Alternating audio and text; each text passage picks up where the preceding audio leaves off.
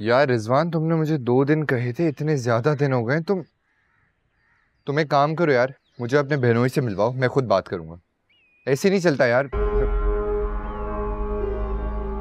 काम करो, मैं कॉल बैक करता हूँ। शर्म आनी चाहिए तुम्हें, उमर।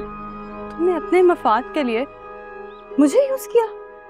तुम्हें पैसे चाहिए थे साफ़ साफ़ बता देते नालों की झूठी बीमारी का बहाना तो मत बनाते।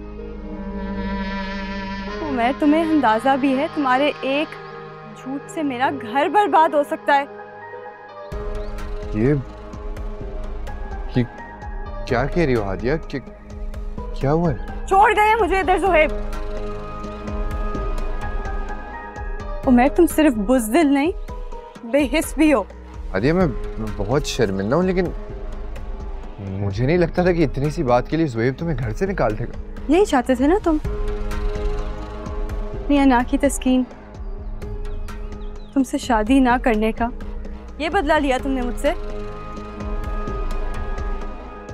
आदिया देखो मेरी बात सुनो। तुम इतना गिर सकते हो जो बिल्कुल अंदाज़ा नहीं था।